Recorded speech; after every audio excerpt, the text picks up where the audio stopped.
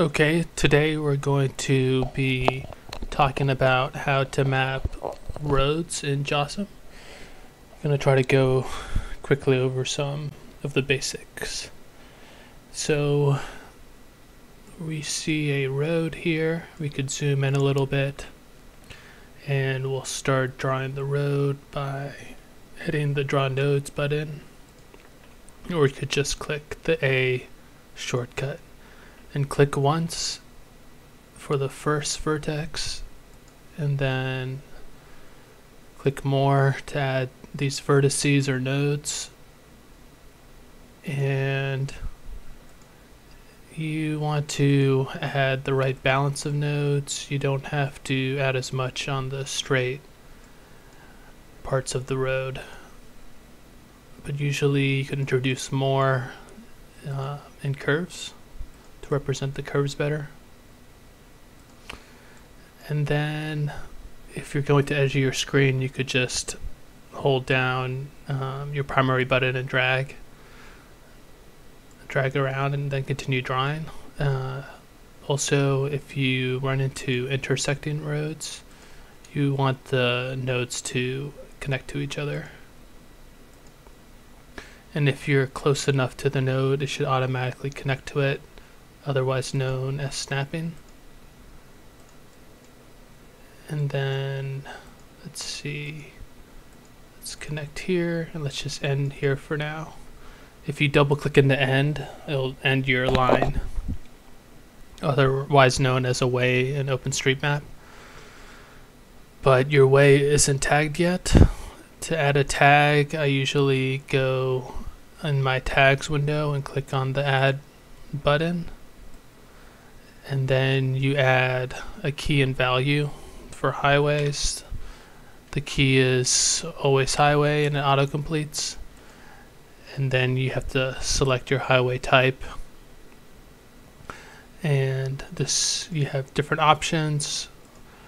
Uh, for now, let's call this a tertiary classification and press OK and then you could stop there. In some cases, you might want to add additional tags. For example, you could add another tag which describes a surface using surface as the key. And you could do paved is is and unpaved are are two valid values you could choose. Um, if you want to deselect this road, you could click on the select button or press S and click on open space and you deselected the road. Um, you could always select back on it if you want to.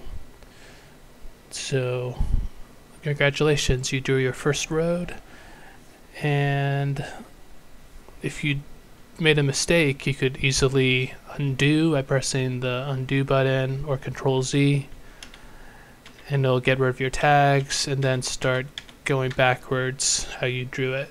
You could also easily redo it as well and go back where you started from and get those tags back in. Okay, so let's say that you know you have a road and you want to sort of move a node around. You could do that easily by clicking and dragging. You also see these little plus symbols in between two nodes and these are easy way this is an easy way to add extra nodes. If you just click and drag you'll now have an extra node and then you'll have two more plus symbols that you could click and drag.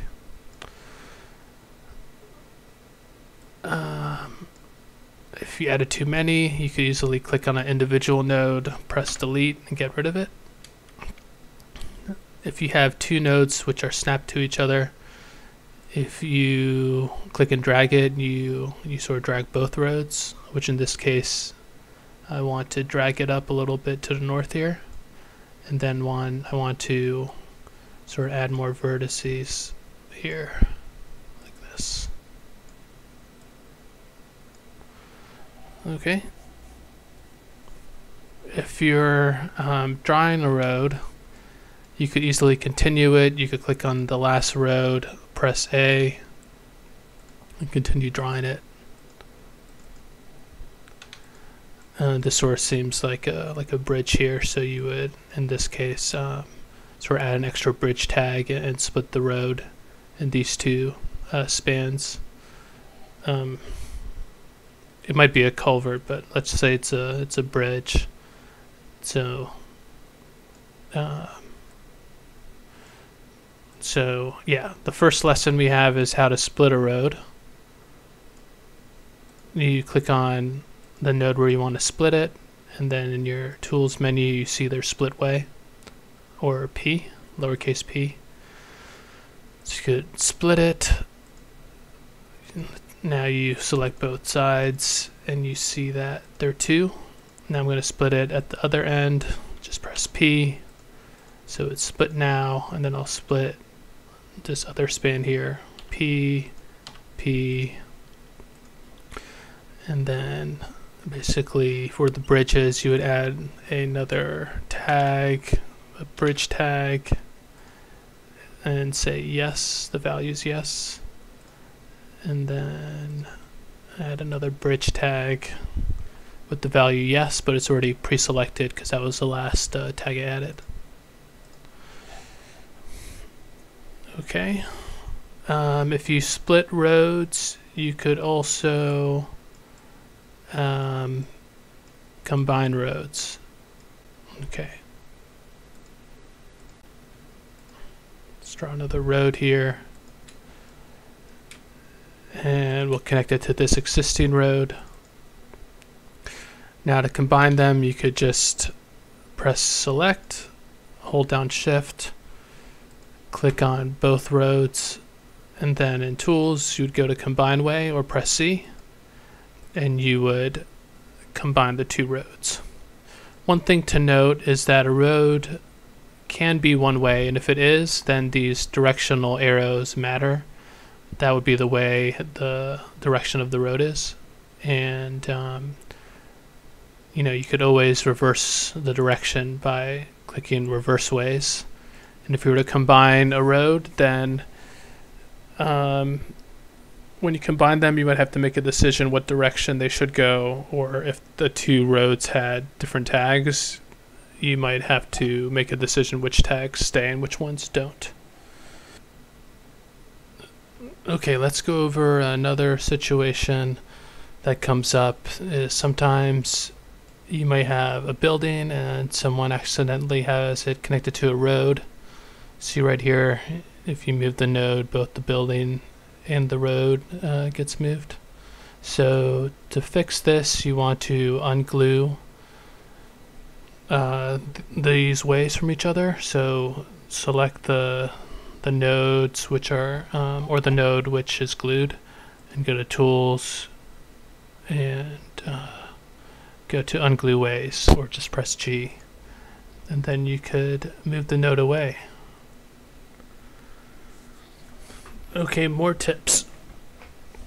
You could select a road, and if you drag, you could actually drag the whole road. But usually, you probably don't want to do this. Uh, if you do, it will it will most likely give you a warning that you're moving a large number of elements, and it might be an error. So you could move them or undo the move. Okay, uh, you could also split a road again. Uh, again, we'll select the vertex, press P. So now these are two separate roads, but if I try to drag this this vertex, it still will move uh, both both roads because they're glued. So again, you have to unglue it by pressing G, and then you could move that part of the road. Okay, and the final thing for this segment, for the last segment, is you could continue a road, and sometimes if there's a, building or another object nearby, uh, your cursor might try to snap to it. And if the building is actually in the correct space. To prevent that from happening, if you hold down your control button, uh, you could get very close to a node, eh, but it won't actually snap, which is nice for those tight spots. We combine these again and we're good to go. And now for the last segment. Also, you may have, um, you may see other roads which aren't that well drawn. And one way of fixing them is, you know, just moving the vertices, adding new ones, which works pretty well. Um, I'm going to undo this. But another way, which may save you time, is the improve way accuracy tool. So if you go to your left hand pane, you'll see it, um, or you could press W. But essentially, click the button, then you could click a road, and then it turns on.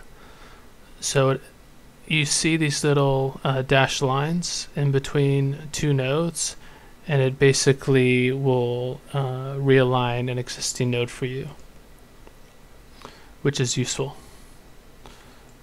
Uh, you could right click and pan down if you want to. And you could keep on doing this. And let's say you wanted to get more detailed and instead of just moving a node, let's say you didn't want to just move a node. I'm going to undo this, but instead if you hold down the control button, it will actually let you draw a new node. And then when you get down here, you could just move the existing node, for instance. So this is really nice.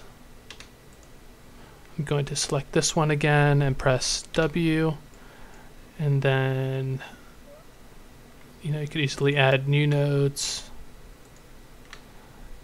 Also just, uh, you know, move nodes as well. It's a nice little balance here. Okay, and that wraps it up. Good luck editing.